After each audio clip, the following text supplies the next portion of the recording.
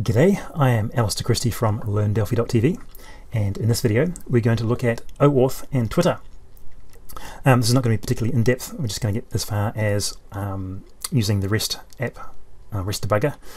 So in Tools, bring up the REST debugger and this allows us to uh, test our authentication and stuff and generate some components for us to use. So if I go to the, actually let's go to the developer.twitter.com. So we, we start here and if we go to the API reference, here's a list of um, methods. So I'm going to get my user timeline.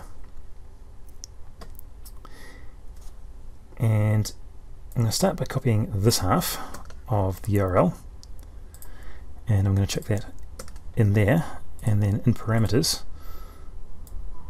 I'm going to grab the method we want.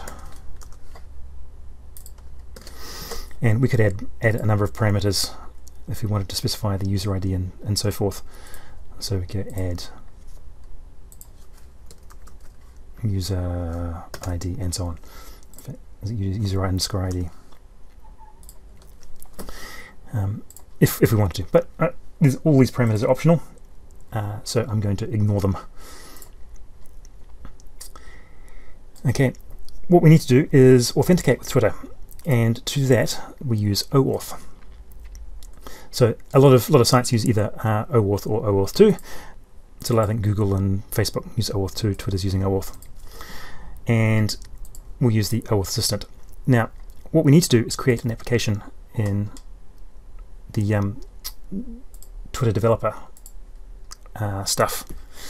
So I've already done that. So basically you just go create app and then you specify, just fill in the details. I don't think anything anyone actually uh, physically checks um, these. So um, you just need to fill in something something reasonable. But we'll go into my existing application that I created and actually Uh, don't think I have HTTPS working on my website, but anyway, what I'm interested here is the keys and tokens. Now these need to get secret, so I'll be changing these. I'll be regenerating them once this video is finished recording. So I'm going to copy the API key, and that goes into the client ID and the API secret, and the client secret. And then we specify these endpoints.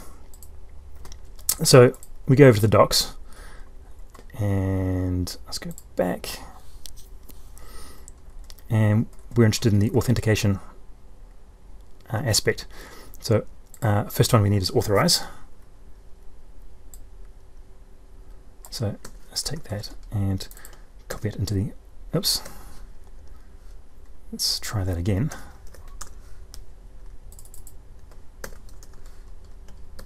Copy that there. Uh, then we need an access token endpoint.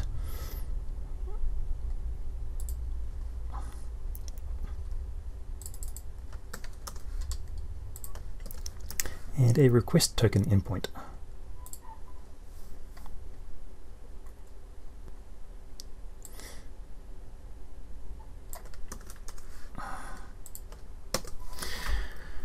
Okay, and from that we can get a request token. Now, depending on how you're going to be using this application will depend on how you distribute things. Um, these will need to be encrypted within your application. You don't want to go uh, anyone seeing those because if they have that, they can uh, impersonate your application and send tweets, that kind of thing. Um, if I get a get do a get request token, go authorize app, take that and copy it into there, and then we can get our access token. And with the access token, we can actually do stuff. Now, basically, this is this was um, my Twitter account. So uh, my Twitter account has now authorized the Alister Christie Twitter application to uh, send tweets and then to be able, well, we're not going to be sending a tweet, but we're going to be looking at the timeline. We also need an access token to actually be authorized.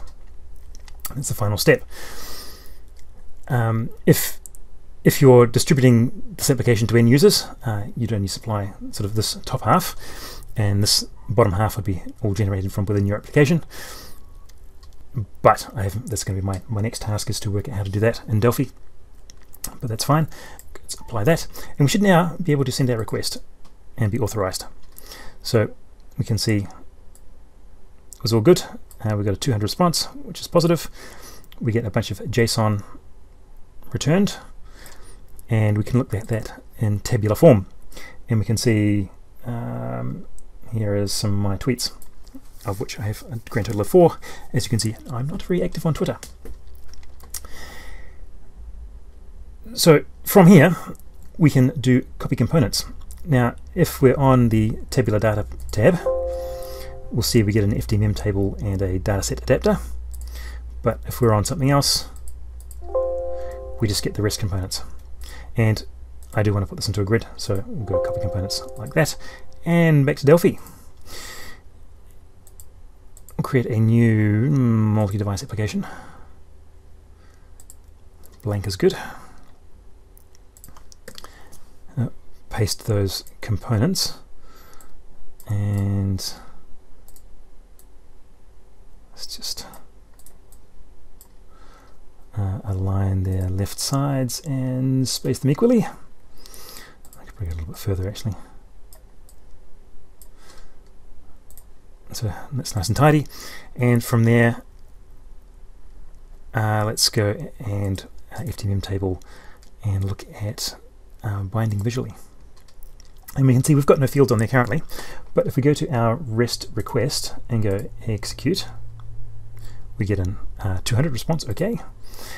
And we see now we've now got all the fields. And so I'm just going to right click and go link to new control and string grid is just fine. And I'm just going to align that to client. And we can see the uh, list of tweets. But if we run that at the moment, that's going to have nothing uh, at runtime.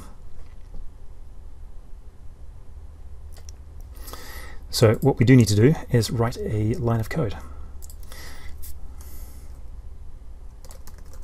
So I'm going to throw a button on and just align that button to top.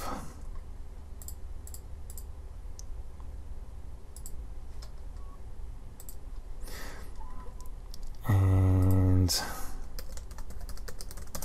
I'll even call it and text. Oops execute. Make it nice and large. Sounds uh, very ominous. So we go to our REST request, execute, and I could probably could have done that on the form create if I so wanted to, if I wanted to do it without the button, but execute, and there's our oh my tweets. So that's pretty much all I wanted to show you. OAuth is it's quite complicated to get going and quite confusing. Um, there's some documentation around. Um, I hope this is enough to get you started at least talking to Twitter, uh, which has been sort of the easiest one. Uh, it's the first one I've managed to get going so far. Um, I have I have done OAuth with a website called TradeMe, and I used this was quite a few years ago, and I used um, the TMS um, web components, well, web, um, whatever they are anyway. Uh, I did a descended class or descended component from their base class uh, to talk to TradeMe, and that worked fairly well. Uh, I originally had written my own OAuth implementation, and I just had the only only implemented get, and that worked quite well until I needed to uh, start updating data on the on that website rather than just uh, scraping it. And um, uh, yeah, I didn't want to have to go through writing a complete OAuth implementation, so I yeah just you know, bought some components, which is way cheaper than spending my time. But uh, now there's also this um, REST client, uh, REST request, and all, all, this kind of stuff in Delphi, which makes it uh, fairly easy. Well, easier. It's still non-trivial to sign up. Uh, the the process for creating your uh, application can be quite onerous. Um, but um, it's, it's, usually fairly straightforward, uh, and hopefully I'll have some videos on other OAuth implementations and also uh, a bit more on Twitter, and we'll look at um, taking some of those um, properties, getting these details at runtime rather than putting them at design time. Because I couldn't, I wouldn't be able to distribute this application because this now, uh, effectively this application, uh, all it can do is look at my, or whoever, yes, my, my list of, um, of, of tweets or my timeline. But anyway, that's all I want to show you. I hope you found this slightly informative uh, and hopefully it'll get you started on using OAuth in Delphi. Um, there is, you can also do, if I go cancel on that, uh, it's also OAuth 2, but and that has a slightly different set of parameters. But anyway, thanks for watching.